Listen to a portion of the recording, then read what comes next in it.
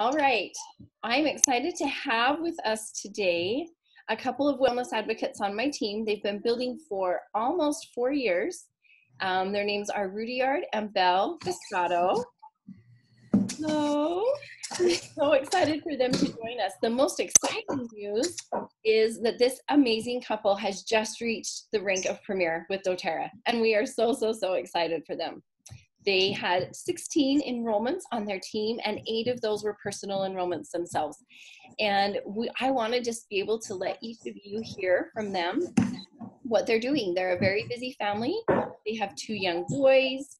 Um, they love spending time together, and and they love working hard. But they've set a goal to not only be premier and to continue to rake advance with doTERRA, but they wanted to be able to qualify for the Southeast Asia incentive trip to Taiwan in February of 2020. And two weeks ago, when doTERRA released the, the rankings on the leaderboard, Rudyard and Belle were the only Filipino wellness advocates on that board, and we were so excited for them. And yeah, we wanted to give them a chance to share some of their thoughts and be able to give you an opportunity to learn from them and what they have been doing. So, Rudyard, thank you for being on the call with me, as well as Belle. And I would just like to let you take a few minutes and, and share with us um, why you decided to qualify, to work to qualify for this incentive trip. Well, thank you, Alisse, for having us in the call. So, uh, to answer your question, we we as family love to travel. Um, however, the kids are already going to big school, and you know expenses are going up, and we are not sure if we can still afford to travel together as family very soon. So, when we saw the announcement of uh, doTERRA incentive trip, we were so excited. So we thought that it could be our chance to travel again. So we decided to take on the challenge and double our effort to share the oils and enroll wellness advocates. But we were really surprised to see our name in the list. We are not expecting that we will be part of it, and even the only one in the Philippines. Um, though it's so early to say, but we are happy that we were recognized. I guess uh, it gives us uh, motivation to do more and continue to the finish. Awesome. Awesome. And Rudyard, I've been so impressed as I have worked with you and Belle that you've you've been able to look at maybe excuses that people might have and instead of those excuses, you're finding solutions. So why don't you share with us what you've done to be a point leader for this incentive trip? Well, it's not easy. Uh, we decided to get out of our comfort zone. Uh, we thought that we should start going out there and start teaching classes and talk to people face to face and share the benefits of the oils uh, in the per- personally. Um, this is far from what we have been doing in the past. We just share messages and post through social media and wait uh, if someone will show up and show or show interest in the oils.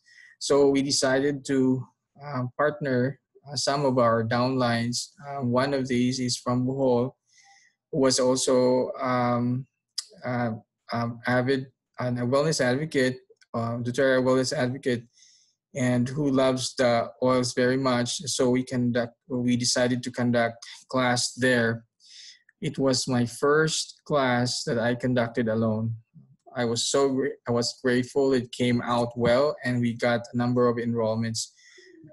Um, and we uh, started to open our home also to friends so we can teach them about the oils um, in the house and we um, we started to set up appointments, uh, one-on-one appointments I'm grateful that our effort uh, so far had brought good fruit.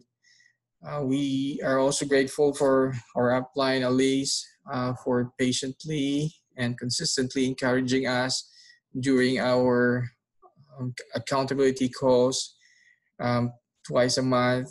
Thank you very much, Rick and Alisse, for your support and all you do for us. Well, it's fun to support people who are working hard and and are able to see the fruits of their labors so i would say it's definitely pays us back tenfold it's it's awesome to work with you so um tell us a little bit about this class in Bohol. This I've taught some classes with you before, but this was the first class that you have taught on your own. Did everything go perfectly as planned for you? Well, um, I was hoping it'd be perfect. I tried my best to prepare, but um, I I guess I don't have the confidence yet. So I I decided to uh, use some tools uh, for my first class if if you can only imagine, um, I brought my mother's TV into the venue so that I can use a video um, that will help me uh, during the class. So I just play the video, and then once it arrives to the uh, the part where um, the oils were shared, just pause the video and share my own testimony and share the oils, uh, um, the different, the top 10 oils. And then um, I was happy that I was able to finish the class. And I thought that after that, maybe I can do this next time, maybe on my own without the video. But yeah, so that's, that's I so where did you find this video? Is this something that you bought or something that you made? Well, um, I do some research and there there were a lot of videos in the doTERRA um, um, website and I got one that I I thought that would uh, be a perfect uh, tool for my class. So it's all actually you can find this in online. I, I can I actually after the class I shared it to all those who uh, enrolled during the time so they, they can also share the videos to their friends. That's great. So doTERRA does have a lot of free resources and I I applaud you for getting in and finding the resources that you needed to to feel confident with your class. And and I know you don't feel like it went completely perfect, but you were very prepared. In talking with you, I know that you took the time to be prepared and you made the personal connection with people that they needed to be confident in enrolling.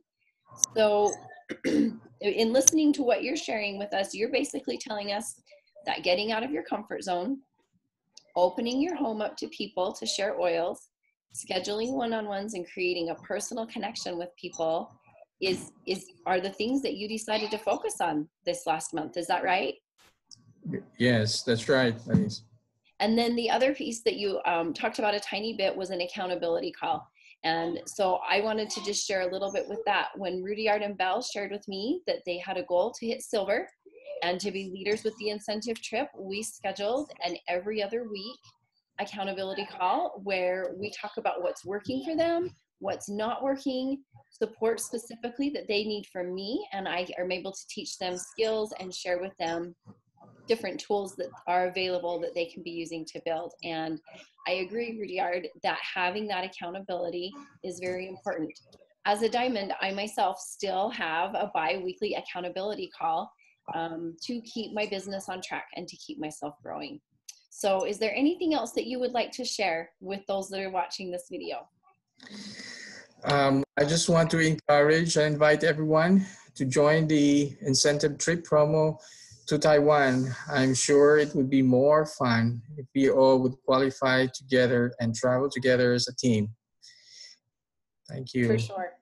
Yes, awesome. And I, I am excited to have as many Filipinos there as we possibly can.